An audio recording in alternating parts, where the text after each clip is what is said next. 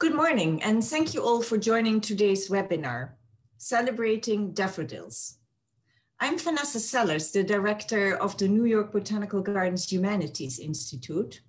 And together with my colleague, Charles Zimmerman, the Herbarium Collections and Outreach Administrator, it is my great pleasure to welcome you from locations across the United States and around the world at any time during today's event, please feel welcome to submit questions by clicking the Q&A button at the bottom of your window, and we will raise these for our speakers to answer at the end. Live captions can be enabled by clicking the CC button, then show subtitles or view full transcript. Now, I am delighted to give the word to Brian Sullivan, the Vivian and Edward Merrin Vice President for Glasshouses and Landscape at the New York Botanical Garden, who will introduce today's speakers. Brian. Thank you, Vanessa. Welcome, everyone. This morning, we'll dive into daffodils. It is my great pleasure to honor and honor to introduce two horticultural specialists, Sara Van Beck and Claire Lyman. Together, they will reveal the history the propagation, and the preservation of narcissus. They will also look at current challenges relating to gardening trends, the lack of precise taxonomy, and the impact of climate change on growing these beloved bulbs. Their presentation will be followed by a conversation that will also focus on the New York Botanical Garden's own rare historic daffodil cultivars. Before I introduce our speakers, I'd like to share an update on the daffodils at the garden today. This morning, in the cold temperatures, I visited all the garden's daffodil collections, including Daffodil Hill and Liason Valley. Many early cultivars are already in flower.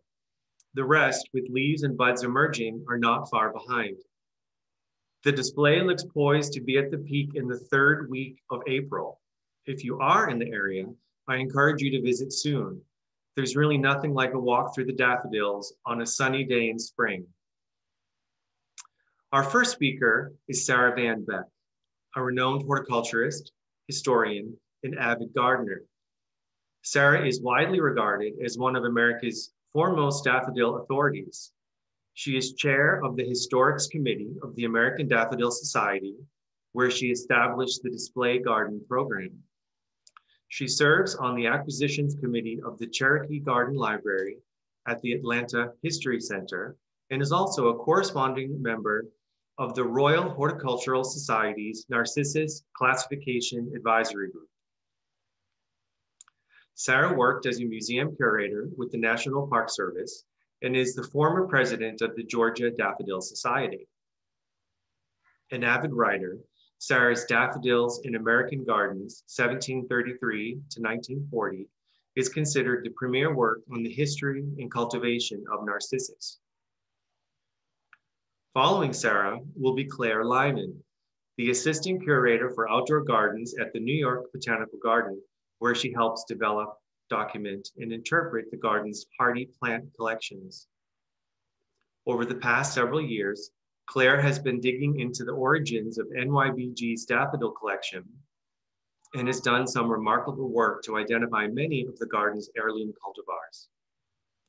Claire holds a degree in plant biology from the University of Washington, where she taught plant systematics and identification. She also collaborated with the US Forest Service and Washington Rare Plant Care and Conservation on determining plant hybridization through in situ population assessment and a common garden study. Here now is Sara.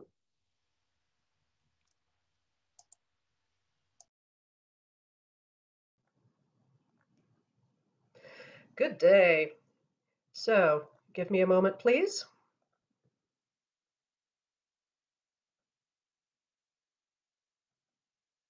There we go to understand what one finds now, one needs a basic understanding of what went before. So this is going to be an easy peasy breezy history of daffodils in American gardens to set the stage for what one finds currently uh, that represents lost genetic repositories and lost cultivars to um, general commerce. So daffodils in American gardens go back to the colonial era, uh, both from English colonists and German. And they fall into two general groups those which were for vernacular gardens or common folk, our general colonists, and those of the gentry set who had the finances to purchase from England uh, or the education to trade with friends. And the commoners' daffodils are those that we still know today and still think of as sort of backbench stalwart flowers. Uh, Pseudonarcissus, uh, if you look at the bottom, is the first one on the left. It's the little yellowy Wordsworth trumpet. Poeticus, very common towards the north. Uh, it is an alpine flower. It needs more cold, so we don't see it in the south, but it's very common in the north. Medioluteus is the twin sisters or uh, Primrose peerless, which dates back to the 1500s in England, uh, often referred to. The wealthier folks went with those flowers that were considered uh, more fashionable. The ones that were fashionable were those that were big, showy, and smelled good. So these were not only for the garden, but they were also for indoor forcing. The most favorite of the group, uh, sometimes referred to as Polyanthus narcissus, are referred to now as Tazettas, uh, their sectional name in the genus Narcissus and they were the province of the Dutch. The English could never quite get Tazettas to go grow for them, and so they always just left it as the domain of the Dutch. Jonquils became great favorites starting in the 1500s when the Catholics were able to kick the Moors out of Spain and open the peninsula, the Iberian Peninsula, up for flower explorers. And they came back with jonquils and they were an immediate hit for their delightful fragrance. And the third that were favorites, but they were sort of the bottom tier flowers, were doubles.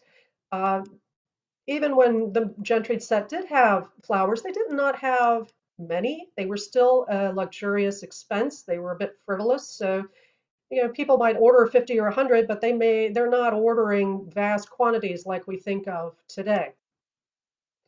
So, how people planted their daffodils sort of reflects where their uh, status was in life. And the well-to-do would plant them in their parterre gardens uh, or formal beds. Uh, William Logan of Stenton, uh, the slide on the excuse me on the left. Uh, this is a recreation of his original garden design, and this is a summation of some of the things in one of his orders uh, to England even though people ordered Dutch bulbs, they still had to go on British ships because England was still trying to control the colonists' wealth and uh, tax just about everything that went into the colonies. And you can see down towards the bottom, you have this direction about how to transport the plants in the boxes so the mice don't eat them and the salt water doesn't kill them. Uh, it took three months, and a lot can happen in three months, most of it not good. The Moravian settlement of Old Salem, which is uh, still a, a well known historic site today, presents an interesting uh, case study in what off the boat colonists were doing with their flowers. The Moravians are interesting because they were a very insular religious sect. They did not um, interact much with other colonists, they kept to themselves so the fact that they had daffodils, they were not turning around and buying things from their English speaking neighbors. They were communicating amongst themselves between the uh, parent colonies and the satellite colonies. So the flowers and the seeds and everything else and the people all came from the mother colonies, which came over from Saxony. So presumably these pseudonarcissus that were planted in a little corner of the otherwise very large vegetable garden were bulbs that somehow made their way over from Germany. The antebellum period uh, is what most people are a little bit more familiar with. And at this point, daffodils started to really kind of take a back seat, except for parlor flowering, because people were desperate to have flowers in their homes uh, through the winter season. And daffodils were definitely part of that repository. Uh, the common folk uh, had their vernacular gardens. Uh, which basically vernacular is uh, basically common people's gardens. So their little plot of ground, Uh, they may or may not try to emulate what the wealthy were doing, um, but they're oftentimes just carrying on the very simple traditions that they brought with them from England or Ireland or Germany. And then high style are the folks with money who are reading the horticultural trade journals and magazines and uh, going to Europe and seeing what the Europeans are doing and coming home and trying to do it themselves because we are keeping up with the Joneses. Daffodils are an interesting um, plant in that what is planted where is a reflection of socioeconomic status. And so looking at how things were planted and what was planted gives you a sense of where what a gardener was really doing in a greater, greater sense, even if other plant material doesn't survive, daffodils can be a marker that gives you some idea of what that original gardener was doing. But parlor gardening uh, went from, say, November, December through May, and Tazettas and jonquils and some doubles and other standards were very much uh, purchased for forcing. And by the late uh, antebellum period, which becomes high Victorian in England, we start with these fancy, what we now call lasagna plantings, where you bought um, intricate basket work, you stacked your bulbs, and you made very fancy little floral arrangements to go in your parlor. These are sort of the um, some of the catalogs that people would be ordering from, and what people ordered when becomes an interesting um, rabbit hole that I have spent some real time in the past two years, which we will circle back round to. But on the left is a 1920, uh, excuse me, an 1827 catalog uh, from one of the premier Dutch houses firms of Krelage. I will not attempt my Dutch. Uh, and the center column is primarily Tazettas. The Barr and Sugden catalog on the right is 1866, and this starts the beginning of the daffodil renaissance in England. And you can notice sort of a difference in the number of varieties that were offered. It's actually quite large. Also, a change in names, uh, which reflects a, an evolution into Zeta hybridizing, which becomes another interesting rabbit hole uh, later. This is a premier example of a vernacular dooryard garden. This was in the uh, taken around the turn of the century uh, in the mountains of Georgia, but as far back as uh, Bartram, John Bartram, uh, in the colonial period, he made a comment about uh, railing in a little bed for his Dutch bulbs. And this is what they meant by railing. This goes back to the 1500s. It's simply having wood boards to create a flower bed. Uh, these dooryard gardens were very common in New England and kept on sort of as a, as a um, familial way of gardening. Uh, how people planted in their vernacular gardens varied with traditions. Uh, so you have different traditions, say, from North Carolina to Georgia to Virginia and further north. And as colonists traveled west, they took these gardening traditions with them. When we say high style, we mean high style. This uh, stereo view is from upstate New York, about 1869, based on the history of the photography studio and the fact that those poor women are still wearing hoop skirts. Um, and if you look closely at the base where the folks are standing along the edge of that inner circle, you'll see plant, plant, plant, plant. And those are tulips. So they had the money to buy tulips, but they were still a rare and precious commodity, and they were planted spaced out so you could appreciate each single bloom. These parterre gardens varied in styles, um, but this uh, traditional bullseye pattern goes back to medieval Europe and the cloisters and the monasteries. After the Civil War begins this renaissance in daffodils. A gentleman by the name of Peter Barr decides that he loves daffodils and he's going to make everybody else love daffodils. Daffodils uh, were, were roundly despised by one of the most important uh, garden patronesses in England at the time. She had decreed that no daffodil would ever be planted on any of her estates. So he had a tough row to hoe to convince everybody that these daffodils were worth planting.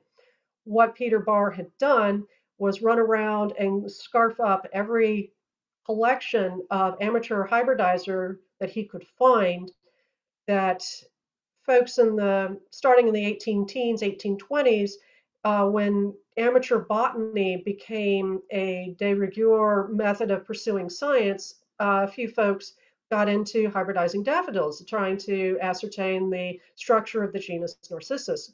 And then they went on to just produce hybrids because they were pretty.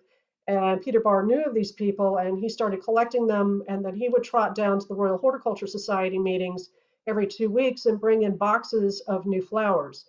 Daffodils at the time were the same old flowers everybody had been looking at for the past couple of hundred years. And here comes Peter Barr with a box of new colors and new forms and new bloom times. And it didn't take long for the English to become quite smitten with daffodils. One of the, if you have a new flower, you have to have a way for people to use it.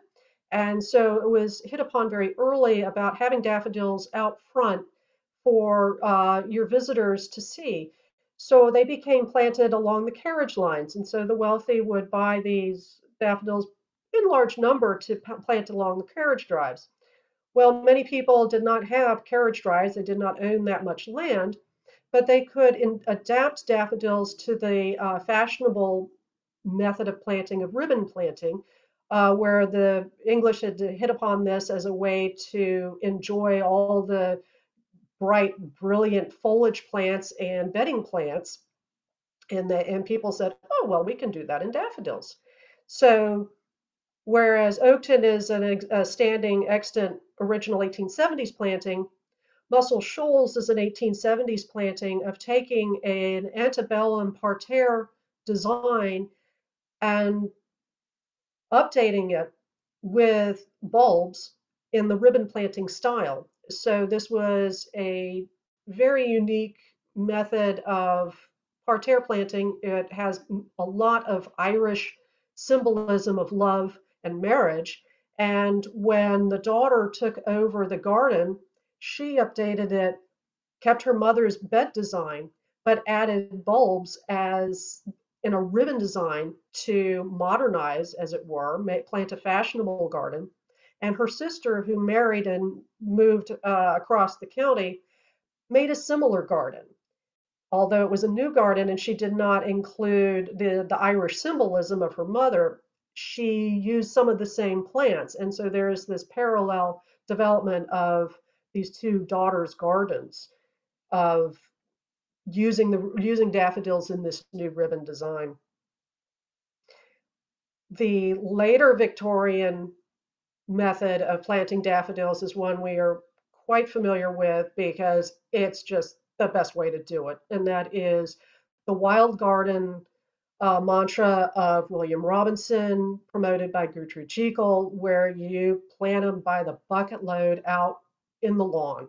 So the tulips became the domain of the formal garden near the house and the daffodils went out in the grasslands, the hillsides, along the fence lines to be enjoyed from afar or by stroll.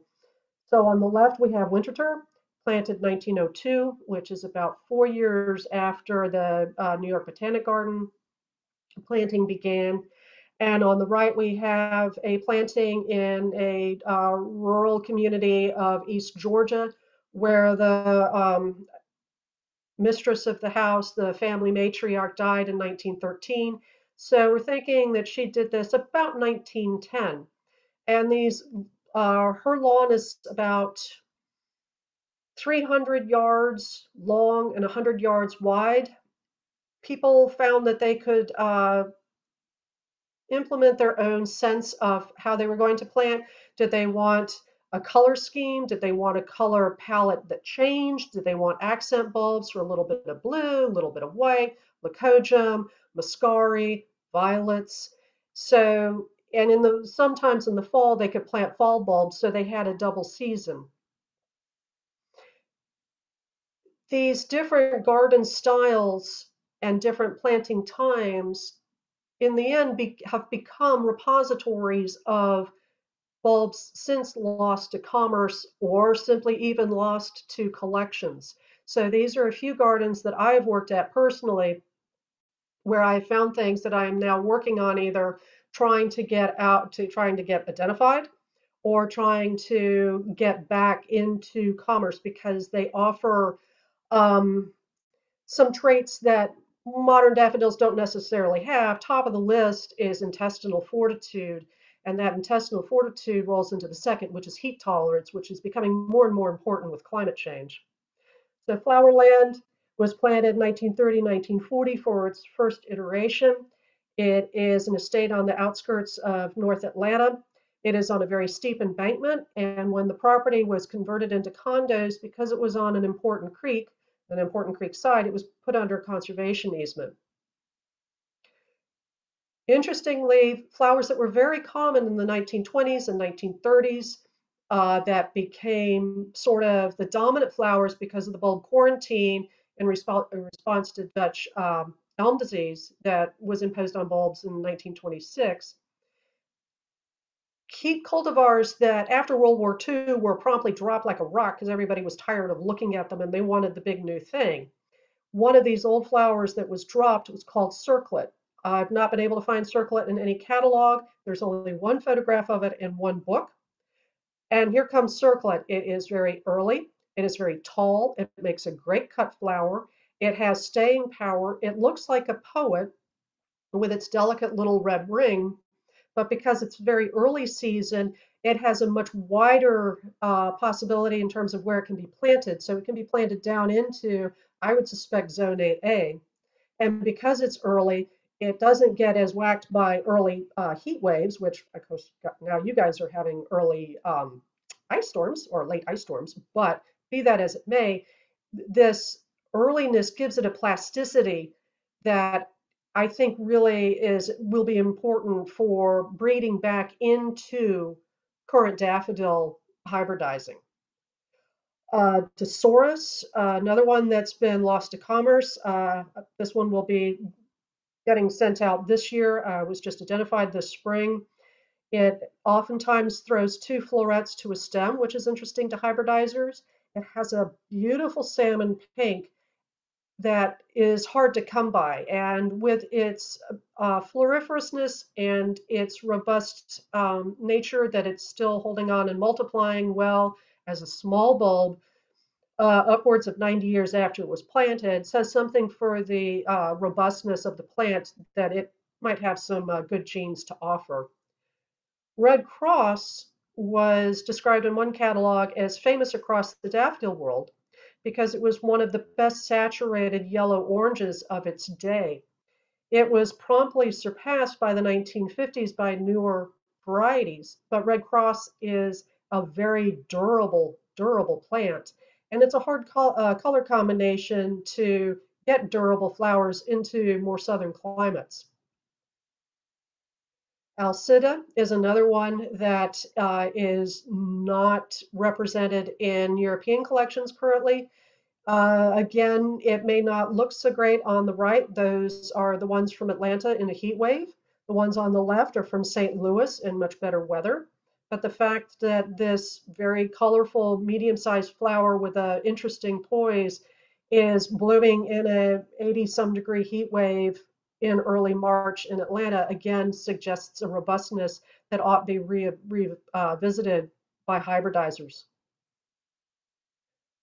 In the 1920s, people began, as daffodils became popular, florists started their own little cut flower patches to sell daffodil stems either by train to the northern market or to downtown to their own metro. So this is a, a small little cut flower operation, uh, what is now downtown or near downtown Atlanta, but right near a trolley line. So Arthur Floyd, um, excuse me, Arthur Ward could go and pick his stems early, uh, put them on the trolley, take them downtown, and sell them. So the common flowers of the 1920s, again, were quickly surpassed once better things came on the market but there's some cute little darlings to be had, and butterfly is one of them. So hoping to get butterfly back on the specialty market. It's not something that I think would uh, appeal to people who want something the size of a tulip to replace uh, tulips in the current market, but for specialty uh, daffodil folks who like that wild willowy wildflower look, she's a doll. Magnolia Vale um, is a special case all unto its own. Uh, it was a famous garden in the 1840s that had its own whistle stop on the Mississippi River. it was kept in family, it's actually, I believe, still in family hands, and the garden itself lasted well into the 1900s. On the uh, left, there's a big blue arrow. That's daffodil foliage. So you notice those railed beds, again, use, simply using boards, and daffodils to line the beds. All that is left of Magnolia Vale are those daffodils and tazettas on the embankment of the Mississippi River. And at this point, even those are gone due to the catastrophic floods of the past 10 years. For the past, I went in 2010 2015 and again in 2020 and dug all the different looking foliage I could find, hoping to find bicolor tazettas. There, the world is full of paper whites. I was looking for gold, and gold I did find. These are various blooming dates. You can see the wide variety of flower form and color combination. Uh, the flower that is blooming on November 15th with that strong reflex, I have never seen anything like it before in my life. The foliage is very different. It's a huge plant by uh, that blooming date. The leaves were three and a half feet long, completely different. I believe it is a species. Uh, early on, the Dutch would simply, the vendors, the bulb houses uh, would simply go to people they knew in Algeria or the Levant and, or even central southern Italy and say, hey, I want X number of yada yada. And folks would have gone out back up the mountain to their favorite field and simply dug wild plants that looked like whatever everybody thought was the white yellow or the white orange or, or what have you. And then they'd sell them to the representatives who take them back to the houses and then they would go in the catalogs and be sold. And I believe that's what November 15th here, which a friend of mine dubbed Amber Star, I believe that's what that represents. January 25th, I believe, is a late Dutch hybrid uh, for the second or third wave of Tazetta hybridizing by the Dutch uh, in the 1850s to 1860s. You can see what kind of evolution of form they were in terms of color combinations and strength of the corona and the size of the floret. Um, January 21st on this page, again, another uh, late recent hybrid Dutch flower. She's beautiful. Oh, she has poise. She she just glows. She's an elegant thing. I believe she might actually be an old cultivar called Queen of the Netherlands. Most of the rest of these I don't have a name for. Uh, December 28th, I'm hoping might be an older one named Prince von Metternich. It matches the one good description I was able to find from 1907. And the bottom right one, the little cute thing with the little button type uh, flowers and that little corona, I believe might actually be yet another wild species uh, dug off the side of a mountain or from a field. There are a couple of very similar Tazettas like this, slight different blooming times, and discussing with other people who are familiar with Tazettas and how the Dutch operated and how bulb hunters operated.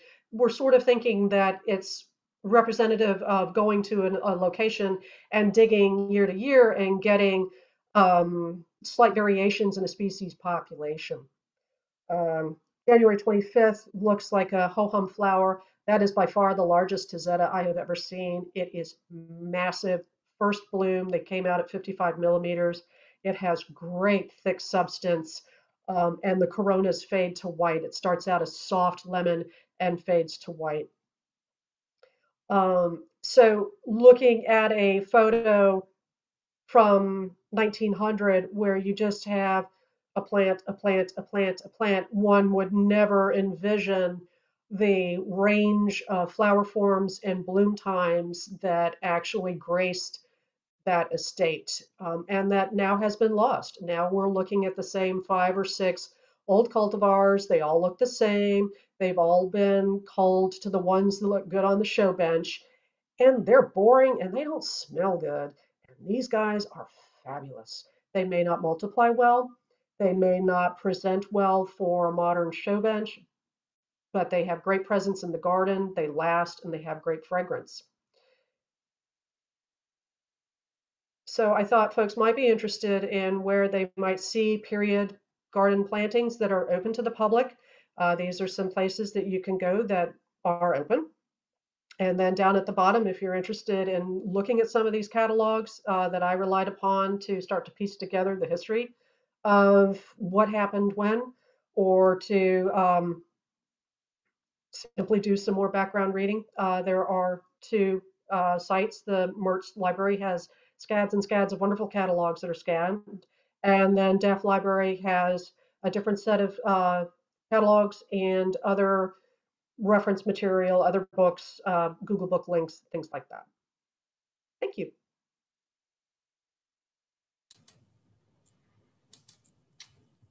Sara, thank you so much for that fascinating, breezy overview of the historical daffodils, the cultivars, and the gardens today.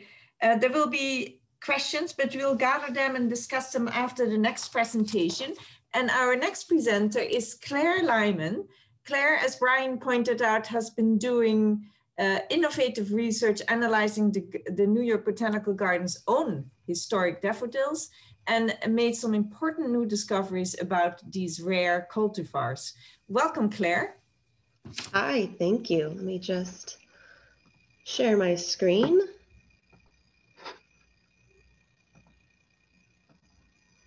All right. Hi, everyone. Um, again, I'm Claire Lyman. I'm the Assistant Curator for Outdoor Gardens at NYBG. Um, and I'm going to tell you a little bit about our historic daffodil collection and the project that I've been working on. So in line with what Sara was talking about in her presentation, uh, NYBG is definitely a repository for these old cultivars of Narcissus and potentially ones that have been lost to commerce and cultivation. So I've been working on documenting this near century old collection on Daffodil Hill and the surrounding area for the last few years. And our two main hurdles with this project have been the style of planting being naturalized, which yes, it is beautiful, uh, but it makes it incredibly difficult to keep track of things. And also, uh, it was not formally recorded or accessioned. So normally we assign plants what's called an accession number when they enter the collections. And basically what that is, is an ID number that links to a formal record of that plant. You know, that way we can easily keep track of its source, its health, the location it was planted, the quantity, and other bits of information. So in this image, you can see two pages from our original accession log books from 1898. You can see accession numbers, the names of the plants received, uh, the source, Peter Barr, uh, the date, 1898, and an abbreviation of their destined location in the garden. And this is all wonderful, but, but uh, nothing in this naturalized planting was actually added to these books. So for the majority of its existence from 1924 to about the 1990s, we really have no formal planting records. We don't know what was put in there.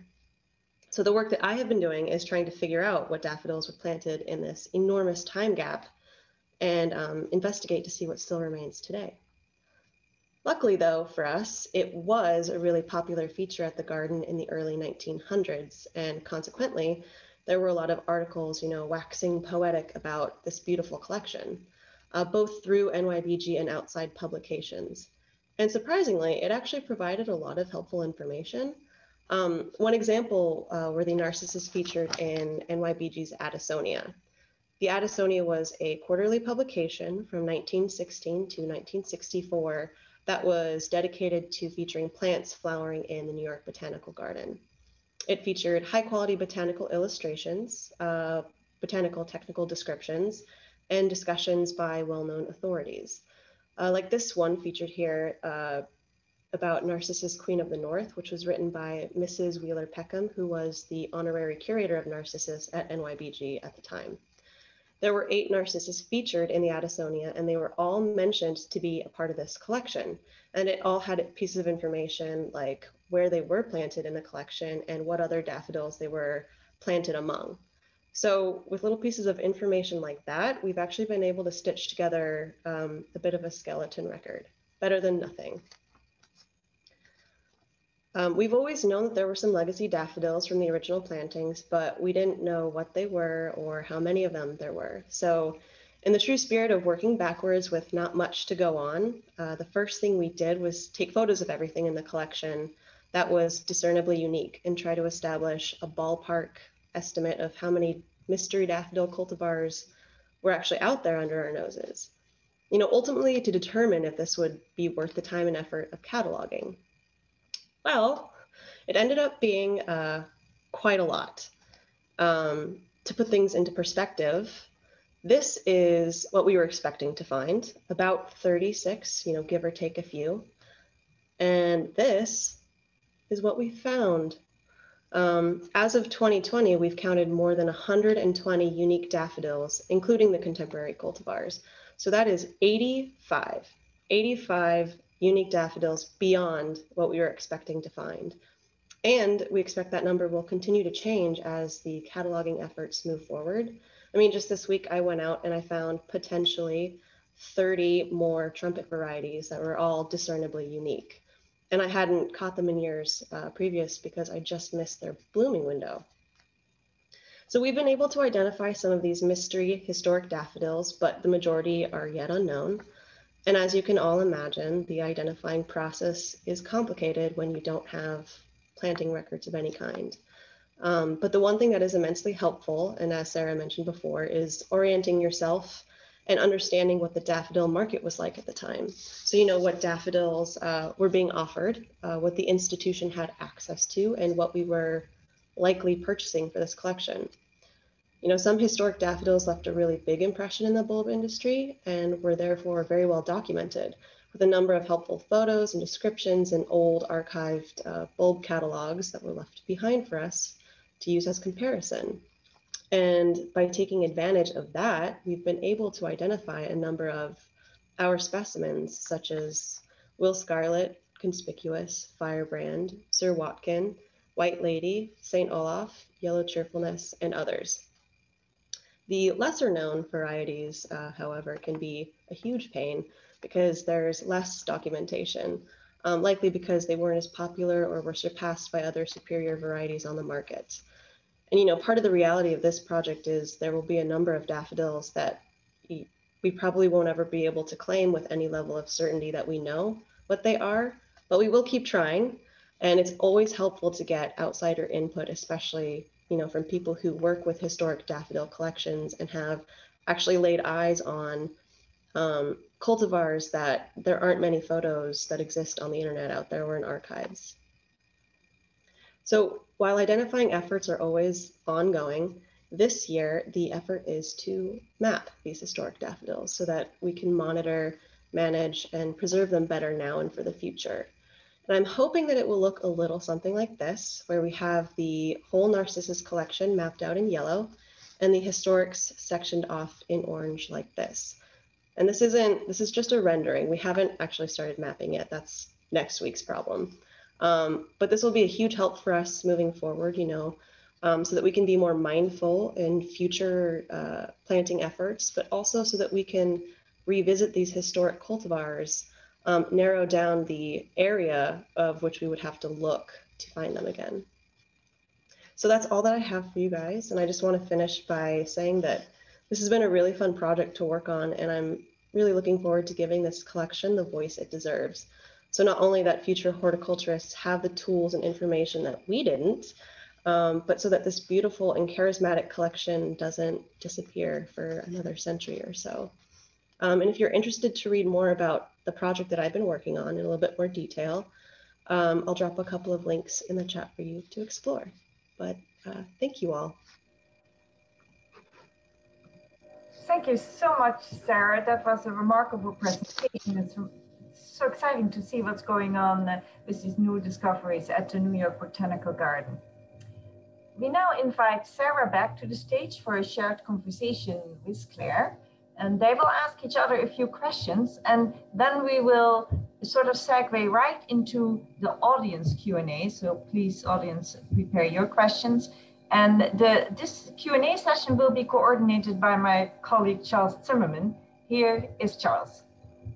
Thank you, Vanessa, and thank you, Sara and Claire, for your terrific presentations. Um, I'll let you get started with your questions in just a minute, but just a quick reminder to our audience to please check out the Q&A and post your questions there. Um, and if you see questions that others have already submitted that are a lot like your own or that you'd like to see answered, go ahead and thumbs up those questions so that we can prioritize them. Um, so I'll turn it over to Sara and Claire. Shall I ask first? Sure. Go ahead. so you've been collecting historic US bulb catalogs for many years now, as you mentioned.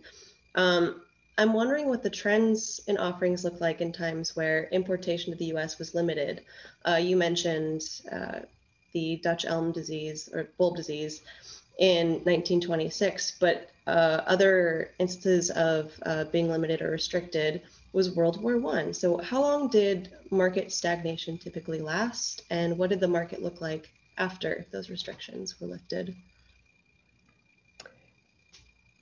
What ended up you have ebbs and flows starting in the late 1880s. One defining event was World War One and the, the Spanish flu pandemic, as it turns out. When the world recovered and there was money flowing, people were able to buy um, companies were able to bring onto market the new hybrids, and people had the money to buy the new hybrids. So the old ones became cheap and quickly dropped out. And so, starting in 1922 with John Scheepers and others, you have this whole new wave of the mid teens new hybrids from England coming in. So, up till then, those flowers were too expensive for American catalogs after the Spanish flu and World War One, when the economies are rebounding, you have more people with more money, more gardening, and so you have this n- new role of, of flowers coming in. When the embargo was on the horizon, the Dutch growers saw the writing on the wall, did not want to lose access to the American market, so they brought all their bulbs over and started growing them in American operations. The axe fell 1926, so everything that was in by 1926 stayed, and nothing else particularly came in. And that held up until about World War II when restrictions were eased. At that point, the Dutch were in no position to start bringing on new flowers. Strangely enough, the New Zealanders and the Australians were. So a few high end California firms were importing down under introductions around the beginning of World War II. World War II happens, everything collapses and grinds to a halt. After, by the ni- early 1950s, economies are recovering. The Dutch are looking for any cash inflow they can manage. They're in desperate straits. Everybody's in desperate straits. And so all of the new flowers that had been locked down, they start bringing on. All the Americans are tired of looking at the same thing for the past 20 years. And so all of the cultivars from the 20s and 30s, with few exceptions, just fall off the back burner. And you have the new, the bright, the big, the showy, the ruffled, the big rim flares and rim rings, and it's big, bold, and showy. So there's a difference in the size and the poise and the complexity of the flowers before World War II and after World War II. And the same thing holds basically before and after World War One. It totally makes sense. Um, I have another question. I remember reading in uh, your book some ways of identifying an old daffodil versus a new by comparing their physical traits. So, what are some of those telltale characteristics of an old daffodil? Assuming that your daffodil is well fed, because even newer varieties will dwindle in size and stature, and we call it substance, the thickness of the petals. If the bulb is not well fed, it doesn't have the energy to put into making a top notch flower, whatever flower it would produce. So assuming that you have a well-fed flower that's in a good sunny spot. Older flowers in general have narrower petals, they have less overlap, they twist a little more, they might hood as opposed to hold parallel a little more. They may have uh, more green. If it's a yellow flower, they might have more green in, inching into the base of the petals. If it's white, it might have yellow inching up, or it takes a while for the primrose yellow petal to fade to white. The colors are um, more saturated with time. Uh, they're more, in, they bleed more into the corona. So starting from the beginning, there's this push to make a flower that instead of nods, straighten up and look at you. From skinny, willowy petals to something big and thick that so when you're looking at it, you're really looking at more as opposed to less. That the coronas, instead of being crinkly and waggly and kind of small, are bigger, better formed, uh, smoother, less ridged. Uh, and taking out or solidifying the colors, the permanent colors. So less fade. So if it's going to be white, that it opens white. It doesn't open cream or yellow and then fade, or the petals open kind of primrose and then fade. So if you have a flower that takes three or four days to become a mature flower, so it looks like one thing when it opens and four days later it looks like something else, that's a signal of an older flower. There's more genetic variability going on. They react more to the weather, to the to the uh, season of the year. Um, whereas a later hybrid, uh, that variability has been bred out, and the characteristics that they want are much more stable. So what opens is what and that's part of the problem with identifying historics is you have to go back and look.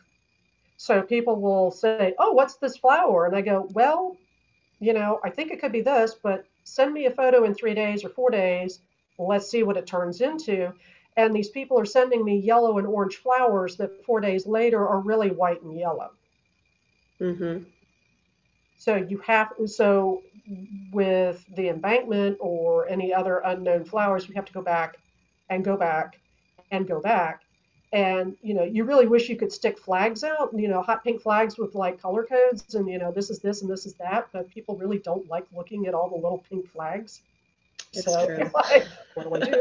so i'm now to the point where i take pink flagging and i tie it around the base of the plant so that when you look you don't see anything but if you know Mhm. sort of where you're going you've got your pink flag and your note because if you're in a mixed environment what's here and what's six or eight inches over can be completely different. So you've got to tag the actual Yeah. flower that you're seeing and keep track of that because its neighbor maybe you know, a 10 year different hybrid and a different color code. So if you It's go to so dig and reset, you're going to wonder why your yellow white turned out to be orange yellow. Yeah, that's definitely one of the reasons why I'm very excited for this mapping project to happen because it's really hard to go revisit these historics that are mixed in, I think it's nine, about nine acres of just mixed naturalized planting. It's just very, very hard to find them It's- again. Yeah, it's really, really pretty and really, really annoying. And if you're into the position Yes. where you have some cultivars that are more robust than others, and so over your decades have um, multiplied uh, by bulb division to the point where you have a large clump. You know, you can only fertilize so much to offset the fact that those bulbs are stripping the nutrition out of the soil because they don't go anywhere. At Mhm. some point, you've got to dig and divide. Well, then you need to know where your one clump is so that you get the ones that you need to dig and divide and you know exactly what you've got and you don't pick up its neighbor clump. And um, again, that's with Flowerland helping the, uh, the condo association now because the new people are interested in preserving that planting. We're going to be looking at how, what kind of flagging system can the residents tolerate that doesn't irritate them from year to year because your flagging system has to hold after the daffodils Mhm. go. I mean, it's kind of pointless if you've got to go out and reinvent the wheel every March. I mean, it defeats the purpose. So, how do you come up with a permanent marking system so you know, okay, my Peter Barr trumpets, which are really rare, are doing well, or hey, this year they didn't bloom if you can't go find them again? Yeah. So, yeah. This has been fantastic. Thank you for sharing all this. I think our audience really appreciates it. Um, we've had a lot of great questions come in from the audience Q&A. So I'd like to transition over and make sure that some of those get answered. Um, just to start off with, a lot of people were really curious, just the basic difference between daffodils, jonquils, and narcissus. If one of you could just, just say that briefly so that we all understand are on the same page. Um, I can give you the southern explanation, or I can give you the, and I'll give you the southern explanation, and then I'll give you the the the botanical explanation. The southern explanation is is a narcissus is what you grow, the jonquil is what your grandmama had, and the daffodil is the thing in the catalog that dies in your yard. Technically, narcissus is the genus name. It became a common name particularly when people didn't remember the name of whatever it was that they bought or their their grandmother knew but they didn't. So narcissus became a catch-all particularly for tazettas. Jonquils again are a botanic name for the section of jonquilla which are yellow fragrant um, they like it dry they come from the um, iberian peninsula in particular so they like a dry summer and a wet winter um, but people didn't remember the names, and so everything became a jonquil. Daffodil is the accepted English term for all the flowers in the genus Narcissus. So when you get into the daffodil world, Narcissus is usually a catch-all in a botanic sense, and daffodil is the word catch-all in a common flower sense. Terrific. Thank you so much for clearing that up. Um, a lot of folks were interested more in the wild planted bulbs. Um, how long do these typically survive when they're not being tended to, I imagine, especially? And uh, did the wild planted bulbs, do they continue to reproduce? And then furthermore, do they hybridize with each other once we're out, once they're out there? Claire, you want me to take this one? Yeah. Okay, so if they are treated well, if they are not mowed too soon, if they're left to become a grassland planting, and then when you start to mow grass in the early summer and you leave your foliage to quote ripen, and you are not removing the material so that you, if you think about it, soil nutrition is designed to be a closed loop system so that the leaves that fall become the nutrients for the plant the next season. So if you still maintain that, rather than stripping all those nutrients away by raking or taking your dead foliage away, all that sort of thing, then the daffodils will settle into a stasis mode and they will and the, the more robust ones will continue to divide. And so yes, that field out of um, uh, Jane Hill's uh, daffodils out in the, the field were planted before 1910. The current owners understand that occasionally they'll run through with a bag of fertilizer, but they don't mow too early. And because it was always treated as farmland, the daffodils have held. Same with flower land and same with the New York Botanic Garden. If they are fat and happy and fertile, they will cross pollinate and set seed. And we're now having that issue at Flowerland because we've had two very wet years. So the seeds have managed to over make it through the dry it wasn't a dry summer it was a damp summer kept the seeds viable and they've come up through the leaf litter and so now all of a sudden there are all these little hybrids that some are a year old and some are two years old and uh, my compatriot and i are looking at each other going uh, whoops because you have no idea what you're going to get and in seven years you're going to have flowers that you are going to not be able to identify because they are hybrids and you will not have any idea you might have a wild guess who the seed parent was because it's downhill, but you will not have an idea who the pollen parent was. And so when you get into these situations, part of Claire's pain and suffering might be that she's got hybrids. Oh, absolutely. Absolutely. I have no doubt about that. And so then what do you do with your hybrids? Do you appreciate this original planting for what it was and you leave them? Or are you in a position where you need to preserve the original integrity of the landscape planting and you need to remove them? So what people do who, uh, like one of the gardens is a private garden, but he's trying to amass a large historic collection, is that every season he runs around and he deadheads all of his flowers so they don't set seed so that he preserves the um, integrity of his original plantings and he doesn't have you know juniors hanging out next door that are about six inches away that look kind of like mom and dad but not too much and he's going you know what is this? And so he has missed a few and he's sending photos and they're just different enough that if you didn't know any better you would drive yourself insane trying to identify them because they're a brand new flower. Hmm so deadheading is the way to go. To maintain these things, uh, you have to maintain a fertilizer level, you have to maintain a non mowing policy, and then you get into issues of thinning. And there you, you just have to, to grit it out. Thank you. Some of our um, audience members had questions about mowing and things like that as well. So I think you helped answer some of that. Um, here's a question talking a little bit, going back even farther. Um, are there centers of diversity around the world where wild daffodils really have a strong presence?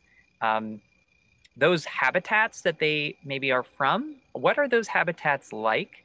And thinking about the genetics of all this, can DNA be used to, to look back even farther and understand these um, daffodils in their origins? Okay, well, I'm going to do the DNA first. Um, DNA has come down in price, so yes, people are doing DNA. There have been some very interesting papers coming out that the DNA and the plant morphology are not telling the same tale. Daffodils as a plant are very old. They're an old adaptation to uh, ex climatic extremes of uh, usually wet winters and dry summers. Daffodils are found around, or the genus Narcissus, let's be correct. Uh, the genus Narcissus is found around the Mediterranean basin, uh, from the lowlands and the marshlands up to the tops of the mountains. So, how your curtain garden daffodil does for you has something to do with its genetic heritage. Poets are alpine meadow plants. Then you have Cyclamineus and Triandrus that came from the side of the mountain and like the granite scree so they like it a little cool, but they like it dry. Then you have the Tazettas and the jonquils, which came from the lowlands, who like lots of water and are not terribly cold hardy. Uh, you have uh, Tazettas uh, from southern France, Italy, over to the Levant. And then you have a few Tazettas and some other interesting bulbs that come from North Africa. Uh, Spain is one place where people go to go species sleuthing. Uh, the Alps are another. Uh, and uh, they're starting to try to do work in Algeria. And then there are people in Israel and who uh, sleuth through from Turkey uh, all the way over to Afghanistan. Um, and I forgot now the first part of the question. How's that? I, I think you got to most of it actually. Okay. Yeah, thank you. Um, yeah, so this has been great. Um, uh, we're reaching the end of the hour. Um, thank you all for being patient and for joining us for this time. Um, I'll ask one more question. Uh, this was partially answered in the Q&A already, but I just want to make sure everyone has a chance to hear it out loud. Uh, Claire, can you tell us just a little bit about how participants can enjoy daffodils at the Botanical Garden, where they might go, what parts they can find these historic varieties? Right, so we, we have daffodils all around the garden. Um, we have two really big collections, one in Liason Valley, which is near uh, the Mertz Library. And then there's Daffodil Hill and the surrounding areas. Um, for Liason Valley, it's really just the paved pathways that you should be walking on, unless you know you want to go inspect a label to see what cultivar you're looking at. But we do really want to um, maintain the integrity of the plantings and, and not compact the ground too much. Uh, for Daffodil Hill, we do have mowed pathways, which you are allowed to walk on. Um, but as far as going into the planting, we discourage that because um, it really does kind of damage the collection. Um, yeah, it's if you could stay on the pathways, that would be wonderful. Um, but we also have a uh, Daffodil webpage, which I believe Charles entered into the chat earlier, which you can explore. Uh, it covers a little bit of history of Daffodil Hill. Um, it also features the daffodils in Daffodil Hill. So it has like little profile pictures. If you can't visit in person, you can more than, uh, you are more than welcome to visit them online. Terrific. Thank you, Claire. Um, at this point, I'll transition it to Vanessa. I think we're ready to close up for the day. Yes, indeed. Uh, thank you, Charles. The hour has really flown by. There are more questions, but alas, we are out of time. Uh, Sara and Claire, thank you so much again for sharing with us your incredible knowledge of daffodils and for deepening our understanding of this amazing bulb. And thank you to our audience for joining us today for this webinar. If, if you missed any part of it or would like to see it again, uh, it will be saved and shared online in the New York Botanical Garden Lecture Library. Lastly, uh, to close, a quick overview about uh, of uh, upcoming programs you may be interested in. Next week on April 8th and 9th, the New York Botanical Garden partners with other botanical gardens around the world, as well as museums and universities to engage the public in citizen science.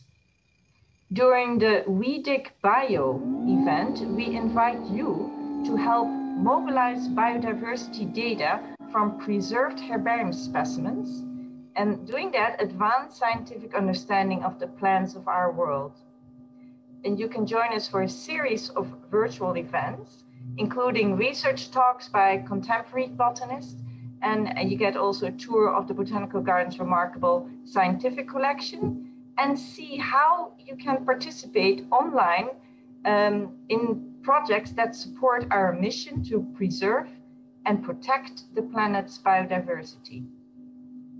On April 16th, you can le learn more about the evolutionary development of seed plants when our doctoral candidate, Cecilia Zumajo, will share the results of her PhD research at NYBG. And finally, on April 22nd, we celebrate Earth Day, and we have a premiere of an important new documentary on the conservation of plants, people, and culture on the island of Vanuatu in the Pacific archipelago, followed by a conversation with the project's collaborators from Vanuatu and from the New York Botanical Garden. And if you haven't registered already, please go ahead and do so. There will be a link in the chat at the end. And now, um, thank you all very much again, and thank you, audience, for joining us. Until next time, stay well, take good care of yourself, and goodbye, everyone. Goodbye. Yeah, thank you, Sara. Bye bye.